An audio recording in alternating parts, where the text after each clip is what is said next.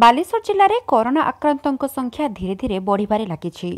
ମଙ୍ଗଳବାର ଦିନ ପୁଣି ଆଉ ପନ୍ଦର ଜଣ ପଜିଟିଭ୍ ଚିହ୍ନଟ ହୋଇଛନ୍ତି। ଏହାକୁ ମିଶାଇ ଜିଲ୍ଲାରେ ଆକ୍ରାନ୍ତଙ୍କ ସଂଖ୍ୟା ସତାବନକୁ ବୃଦ୍ଧି ପାଇଛି। ଚିହ୍ନଟ ହୋଇଥିବା ଆକ୍ରାନ୍ତମାନେ ଖଇରା ଔପଦା ସୋର ଏବଂ ନୀଳଗିରି ବ୍ଲକ ଅଞ୍ଚଳ ବୋଲି ଜଣାପଡ଼ିଛି। ସେମାନଙ୍କ ମଧ୍ୟରୁ ଖଇରା ଅଞ୍ଚଳର ଆଠ ଜଣ ଔପଦାର ତିନି ଜଣ ସୋରର ତିନି ଜଣ ଏବଂ ଜଣେ ନୀଳଗିରି ଅଞ୍ଚଳର ବୋଲି ଜଣାପଡ଼ିଛି। ଚିହ୍ନଟ ହୋଇଥିବା ପନ୍ଦର ଜଣଙ୍କ ମଧ୍ୟରୁ ତେର ଜଣ ସୁରଟର ହୋଇଥିବା ବେଳେ ଜଣେ ପଶ୍ଚିମବଙ୍ଗ ଫେରନ୍ତା ଓ ଜଣେ ସରକାରୀ କର୍ମଚାରୀ ବୋଲି ସୂଚନା ମିଳିଛି। ସର ବ୍ଲକରେ ଚିହ୍ନଟ ହୋଇଥିବା ତିନି ଜଣଙ୍କ ମଧ୍ୟରୁ ଦୁଇ ଜଣ ତଳନଗର କଣ୍ଟେନମେଣ୍ଟ ଜୋନ୍ ଅଞ୍ଚଳର ହୋଇଥିବା ବେଳେ ଅନ୍ୟ ଜଣେ ଟେଣ୍ଟେଇ ଅଞ୍ଚଳର ଓ ସେ ସଙ୍ଗରୋଧ ଗୃହରେ ଥିଲେ। ଏମାନେ ସମସ୍ତେ ସୁରଟ ଫେରନ୍ତା। ସେହିପରି ନୀଳଗିରିରେ ଚିହ୍ନଟ ହୋଇଥିବା ଆକ୍ରାନ୍ତ ଜଣକ ବ୍ରହ୍ମପୁର ଅଞ୍ଚଳର ସୁରଟ ଫେରନ୍ତା ଏବଂ ସେ ମଧ୍ୟ ସଙ୍ଗରୋଧ ଗୃହରେ ଥିଲେ।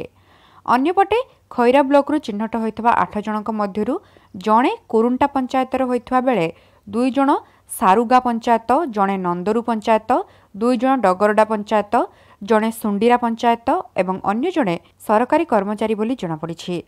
ସେହିପରି ଔପଦା ବ୍ଲକରୁ ଚିହ୍ନଟ ହୋଇଥିବା ସମସ୍ତ ତିନି ଜଣ ଗଡ଼ସାହି ପଞ୍ଚାୟତର ବୋଲି ଜଣାପଡ଼ିଛି। ସମସ୍ତ ଆକ୍ରାନ୍ତଙ୍କୁ କୋଭିଡ୍ କେୟାର ସେଣ୍ଟରକୁ ପଠାଯାଇଥିବା ଉପଜିଲ୍ଲାପାଳ ସୂଚନା ଦେଇଛନ୍ତି।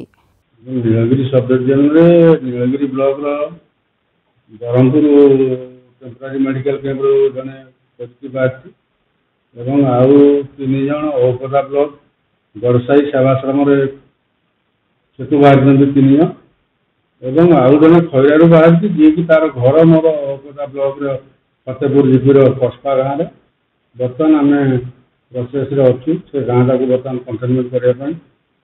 ଅଲଗା ମ୍ୟାପ୍ ତିଆରି କରୁଛନ୍ତି ଏବଂ ନାଇଁ ଟ୍ରାଭେଲ ହିଷ୍ଟ୍ରି ତ ଆମର ବ- ଖଇରା ବ୍ଲକରୁ ବାହାରିଛନ୍ତି ସୋର ବ୍ଲକରୁ ବାହାରିଛନ୍ତି ନୀଳଗିରି ଉପଦାରୁ ବାହାରିଛନ୍ତି। ତାକୁ ଆମେ ଅଲରେଡ଼ି ନେଇ ଆସିଲୁ ମେଡ଼ିକାଲ ଟିମ୍ ଯାଇକି ଆମେ ନେଇ ଆସିଲୁ କରୋନା ସେଣ୍ଟରକୁ ନେଇ ଆସିଲୁ ଆଚ୍ଛା ସେ ଅଞ୍ଚଳରେ କିଛି କଣ୍ଟେନମେଣ୍ଟ ଜୋନ୍ ହେବ କି ସେମିତି? ନା ସେଗୁଡ଼ା ସବୁ କ୍ୱାରେଣ୍ଟାଇନ୍ ସେଣ୍ଟରରେ ଥିଲେ।